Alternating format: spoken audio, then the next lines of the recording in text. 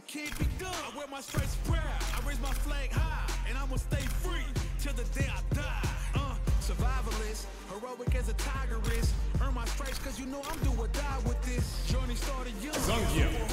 Behold this body of my earth. psychiatrist. Been through a lifetime of strifing and struggling. Be the best, that's my covenant. And I'ma live forever, that's my legacy. Greatest of all time, that's what they gon' label me.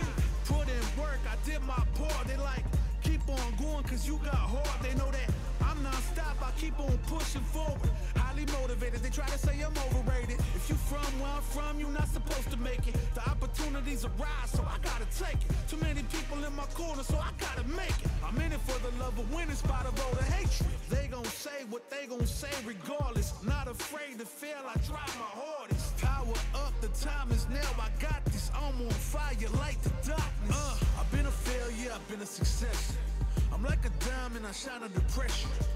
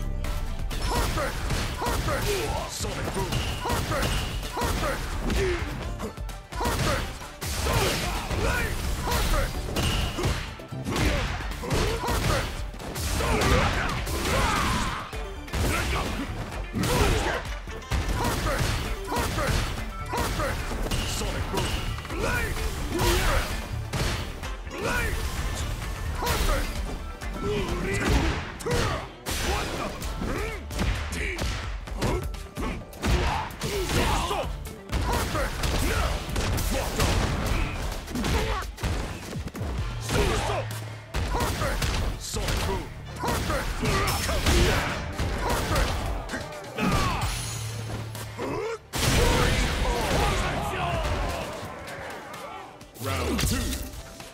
Fight. Perfect! Perfect! Score! Perfect! Perfect! Perfect! Sonic boom! Blade! Perfect! uh, anyone on four yet. So Yeah. LM3, who's actually the second seed in his pool versus Mars. Nice. Was doing great with literally back against the wall, fighting his way out. So it looks like uh, LM3 does have a win. Okay. At least a, a, a win on the round. We're not sure if Oh, uh, and, 1-0 or not. and baits at the the level two. That is projectile invincible, fully invincible actually. Oh, actually drops the punish. All right, tries to keep it safe a little bit. Yeah. I like keeping that distance. Don't play into into Mars's uh, uh you know Zangief's options. Just play that distance like Guile can. Exactly, exactly. Yeah, you, you kind of like. I mean, against Zangief, on on the one hand, he doesn't have the best defense Mm-hmm. when getting knocked down, especially since after using the level two, didn't really have a way out of pressure. So a lot of players will be like, they'll opt to go for offense because you know, good offense is great defense. You know, right? Yeah, hundred percent. But I, but I do appreciate like, all right, I have a big life lead. I have a lot to lose. I, lose. I have space. He doesn't have a lot of life. Let me not uh, force the issue. Mm-hmm.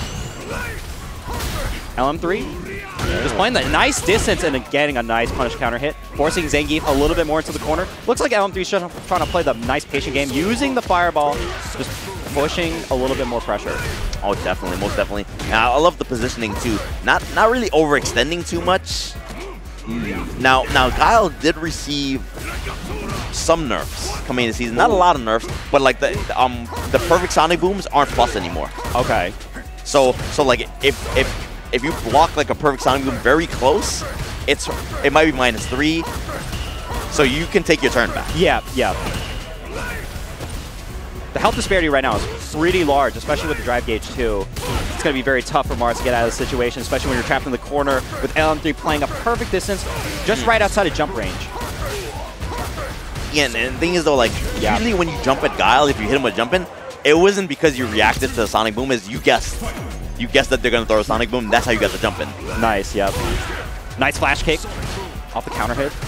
All right, yeah, this is this is looking kind of rough. Yeah. Oh, that's the jump in that Mars was wanted. Oh, tries to bait it out of sonic boom as well. But L3 being super patient. Is he gonna spend the cash? Um, Yeah, here we go. Yeah, because then you stall the drive gauge from being able to get a little bit more.